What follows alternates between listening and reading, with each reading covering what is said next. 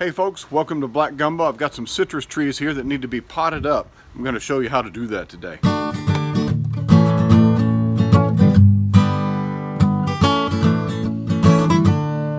If you live in an area where you can grow citrus, you really should. Grab me one of those lemons. Who doesn't like citrus? I mean, look at this. You've got a Meyer lemon here that is just pouring out juice. I mean, you can't buy that in a store. It smells good. You want to lick it? All right, we're headed up to the Home Depot. We're going to buy ourselves some supplies. Get these uh, citrus trees put in the ground. All right, so here's what we got. So I have these beautiful citrus trees that I purchased down at a local grower. I've got a blood orange here. I've got a a uh, key lime and I have a dwarf mandarin. And I'm going to put these in pots because I'm going to grow them in pots keep them small keep them maintainable. And uh, yeah well we got to pot them up because they've been in these uh, three gallon nursery pots far too long. When you're potting up fruit trees uh, whether it's figs or citrus those are the two kinds of fruit trees I grow. You don't want to put them in a big pot right away. You want to gradually pot them up to the next size. So these are in three gallon nursery pots and I'm going to put them in these five gallon nursery pots. This is a number seven tall pot and that's just about right. Taller is better with a citrus tree. You want well draining soil, you want good drainage so they've got all these open holes down here and uh, yeah that's going to be good. So let's get started. You can see that they uh, are a little bit big for their pot and we're going to put them in here. So what kind of soil? Uh, citrus trees need well draining soil. The grower told me he uses very fine pine bark as the basis of his soil mixture. Yeah, so uh, we're, we're, we don't have any fine pine bark. I have some pine bark, but it's not very fine. So I'm going to use a different uh, kind of fine, well-draining soil, and I'm going to make my own out of some components you can get at the big box store. When you plant fruit trees and fig trees and citrus, you want the soil to be really well draining, but it can't go completely bone dry. So we want some moisture retention in that soil and we want it to drain really well. And so the basis of a well draining soil can be a number of things. Pine bark fines is really a good choice. That's the choice of lots of fig growers and serious fruit growers. You can also use things like uh, uh, vermiculite. You can use rice hulls. You can use uh, uh any number of really coarse materials. And um, some people just plant these directly in potting soil and do just fine. They will do fine they're fairly forgiving. These plants are uh, uh, pretty robust growers, but uh, I'm going to add some uh, materials to my soil to give a nice, well-draining mixture. Peat moss, perlite, vermiculite, potting mix, and in the bottom we put some pine bark. So for this mixture, I'm going to use one bag of potting mix. I'll also be using some vermiculite. Vermiculite and perlite in equal amounts. The potting mix really serves to add uh, slow release nutrition because it's got some compost in there. It's got some uh, coarse material. But this perlite, I mean this uh, vermiculite, uh, it retains moisture. I can feel there's moisture in there already because it's rained on it. And uh, yeah, this is a good stuff to help you uh, have a fluffy but a well-draining soil that holds on to moisture. About an equal amount. We're really doing this by eye. We just want to get a nice uh, fluffy soil that's well draining. Now the peat moss, I'm going to put three or four shovels of this stuff in here as well. Again, peat moss is just a, a water retention uh, bulking up agent. It holds water and um, it's just a pretty decent growing medium. You can make your own potting soil with just peat moss perlite, and a little bit of compost. That's generally the, the mixture I use. But I'm going to put uh, three or four shovelfuls of this peat moss in here as well.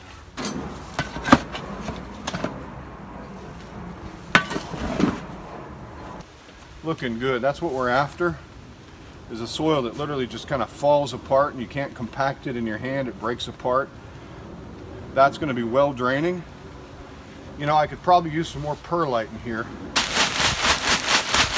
Now again, the perlite and the vermiculite are kind of a substitute for what my uh, nurseryman uses for these citrus trees. He uses fine pine bark. If you can get pine bark fines, they sometimes sell it as soil conditioner. that's a really good choice. The peat moss will help raise the acidity slightly, and that's what we want. Like I said, some people will uh, tell you that citrus trees prefer neutral soil. That's, that's really up for debate. I trust my grower. He's been doing this breeding citrus and has the largest private collection in the state of Texas, uh, John Panzarella. And uh, I'll go with what he says because I've seen his trees and I've seen his results. So there we go. We're starting to get a little bit better here with the, that addition of a little bit more perlite. So what is our ratio? I have one bag of organic, um, commercial organic potting mix. That potting mix contains a little bit of perlite, a little bit of uh, topsoil, and a little bit of uh, compost. That will give a slow release fertilizer uh, for this plant in case I forget to fertilize sometime. It's got something in there keeping, keeping the nutrition uh, cycle going. But to that bag of compost, uh, or to that bag of potting mix, we've added about four shovelfuls of peat moss, maybe five, and we've added about four shovelfuls of vermiculite, and we've added about five shovelfuls of perlite, and that should do. It doesn't have to be exact. Again, what you're going for is just a, a nice, fluffy, doesn't hold together, breaks apart real easy, well-draining soil, and that should do fine. The first thing I like to do with any kind of potted plant is I like to uh, make sure that all my soil that I work so hard to make is not going to drain out these holes, and these are pretty large holes in the bottom.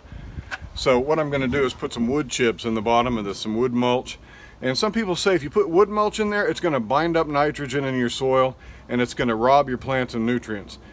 It's going to bind up nitrogen in your soil, but only at the horizon where that wood chip meets the soil. It's not going to rob your nutrients way up here, only down there. And by the time the plant roots get down there, and by the time that, um, that they really need all the nutrition they can get out of your soil, that wood chip breakdown process will be almost complete and it will have stabilized and you don't have to worry about it.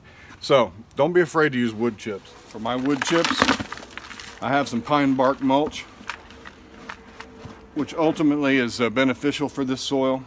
And I'm just gonna place it in there and make sure that it blocks those holes. And then we can put our soil mixture in. We need to plan ahead.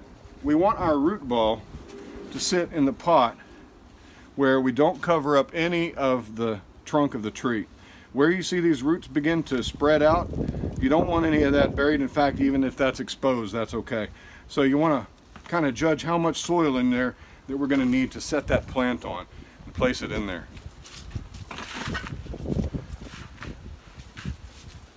I think that ought to do. Let's see. Yeah, that's perfect. All right, let's take this guy out of his pot. When you take these out, what you want to do is get a good look at the root system we don't see too much circling, but if you do, I'm going to just kind of break that up. You don't want this guy circling around looking for resources. That's a pretty good root system. I'm going to keep some of that native soil that it's used to in there. There we go. We'll drop that right there. That's perfect. Now you see we're not going to need much to fill in here. So uh, let's go ahead and get this guy situated where he's oriented in the right direction. I want him growing straight up. This is a Sanguinelli blood orange, and I'm looking forward to having some of these red-fleshed oranges. All right, here's some of our soil mixture. And it's nice and fine, so it just flows right down in there. You can tamp it down, press it down in there. There we go. That should do. It doesn't take much. In fact, that might be a little too much. Now this will settle over time. So you want to pay attention to your plant and make sure that it's got enough soil to grow in there. That gives it an inch all around and about six inches of new potting soil to grow this year. And that's just perfect. I'm going to place some mulch on top and the mulch I'm going to use is rice hulls. Let me grab some.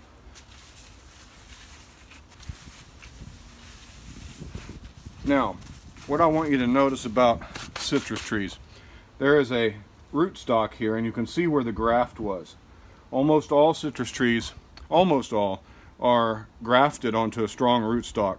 And this rootstock, you don't want to, you don't want anything to cover up uh, that graft. What's going to happen is if you cover that graft, this uh, portion of the of the the grafted plant uh, is going to begin to send out its roots, and you don't want that to happen because this tree doesn't have as good roots as the rootstock. That's why it's grafted onto a rootstock. That rootstock is very vigorous and very strong, and will support this graft, and you'll have a healthy plant. So there we go. That's our first up potted citrus tree. And you'll notice again, there are roots down here. They don't seem to be circling too bad, but the ones that kind of are, I'm going to loosen them up a bit. Yeah, they're not doing so bad at all. What's left in the pot, I'll dump in there. Set this guy right there. Yeah, that's perfect. You want to orient your plant where it's straight up and down or however you want it to grow. If you need to do some correction to the direction it's growing, now's the time to do it.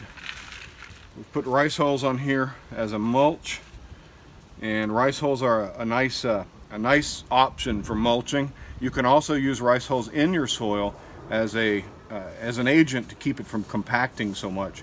It will break down and will release micronutrients, specifically silicone, the element silicone into your soil in trace amounts and some plants really benefit from that. Rice hulls can also be made into biochar. It's a very useful byproduct. It's a very renewable byproduct and it's pretty cheap although you got to buy it in a, in a pretty large bale it'll last you a long time um, this stuff is good stuff for mulch and so uh, I'm going to use that for mulch this year you could also use wood chips pine bark mulch any kind of mulch is good but always mulch your plants. It helps to retain moisture. It helps to keep weeds out. And uh, yeah it's just a good practice to be in.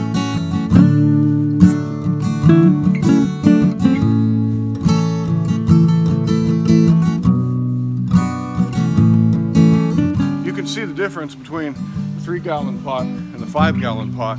That'll give this plant a little bit of a boost for the spring and let it grow up. And next year we'll repot it up to the next size. I do want to show you the difference between a grafted plant and a plant started from seed. This is a, a kaffir lime and a kaffir lime is grown for its leaves and it's very popular in, in Thai cooking. You can see it's got these double lobed leaves and they're very fragrant. They have a lime smell. The fruit of the kaffir lime can be used too, but it's uh, very much filled with seeds and uh, it's very ethnic in its uses. But you can see this plant has no scar, no graft scar. That's because this plant was started from seed. A seed started citrus tree like this will take much longer to bear fruit. In fact, this uh, could take uh, five to seven years to bear fruit. But the reason this was started from seed is you grow a kaffir lime mainly for the leaves, and the leaves are already available. So yeah, that's the difference between a grafted tree and a, a seed started tree. All right, so there we have our up potted citrus plants. They are uh, ready to, to go another year. That will give them enough space and enough room to spread out their roots down in that bottom six or six or eight inches of soil that we've added there. And that inch that's all around the root ball, it'll let them grow a bit more and uh, they'll be just fine in those pots for another year. Uh, they are relatively easy plants to grow if you live in the right climate.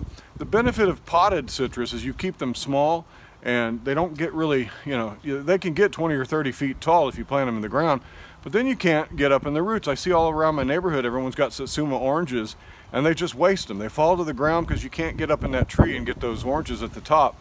And there's far more mini oranges than you need a tall tree you can't really you can't really care for it as easily if you keep them in a pot and you keep them small then uh, these trees are actually uh, easy to maintain if you do put them in the ground they're actually really easy as well if you keep them small right to my left I have a Meyer lemon tree and that lemon tree is uh, just about as large as I'm going to let it go and uh, we have far more lemons than we could ever possibly use so there you go. Thanks for joining me on Black Gumbo Southern Gardening. If you have citrus questions, I'll try to answer them.